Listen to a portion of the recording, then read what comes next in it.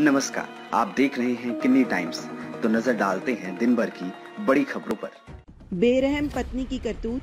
पति की हत्या कर सिर काटा, फिर पहुँच गई थाने। पुलिस जुटी जाँच में। किन्नी टाइम्स।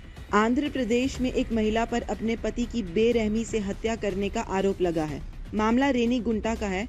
बताया जा रहा है कि रेनी गुंटा में 50 वर्षीय एक महिला ने अपने तिरपन वर्षीय पति का कथित तौर पर सिर काट दिया। पुलिस के एक अधिकारी ने बृहस्पतिवार को बताया कि हत्या के कारणों की जाँच की जा रही है। अधिकारी ने कहा कि दंपति का 20 वर्षीय बेटा कथित तौर पर विक्षिप्त है। रेनीगुंटा थाना के निरीक्षक अंजू यादव ने मीडिया को बताया कि महिला ने आज सुबह घर में पति को सब्ज़ी काटने वाले चाकू से मारा और फिर उसका सिर काट दिया। इसके बाद उसने थाने में आकर अपराध की जानकारी दी। यादव ने कहा कि पुलिसकर्मी जब घटना स्थल पर पहुँचे तो कटे हुए सिर को खून से सना पाया। अधिकारी ने कहा कि महिला गृहिणी है, जबकि व्यक्ति यहाँ प्लास्टिक बॉक्स निर्माण इकाई का संचालन करता था। याद दिला दें कि पिछले साल अगस्त के महीने में भी आंध्र प्रदेश से एक हैरान कर देने वाली घटना सामने आई थी। यहाँ एक महिला पर आरोप लगा था कि उसने कथित तौर से अपने पति की हत्या की है। घटना गुंटूर ज़िले के तादी कोंडा गाँव की है।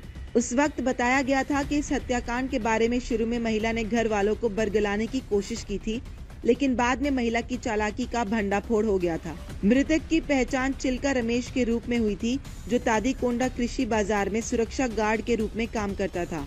पुलिस ने बताया था कि मृतक और उसकी पत्नी निर्मला के बीच अक्सर झगड़ा होता था, खासकर जब वो लकवाग्रस्त था।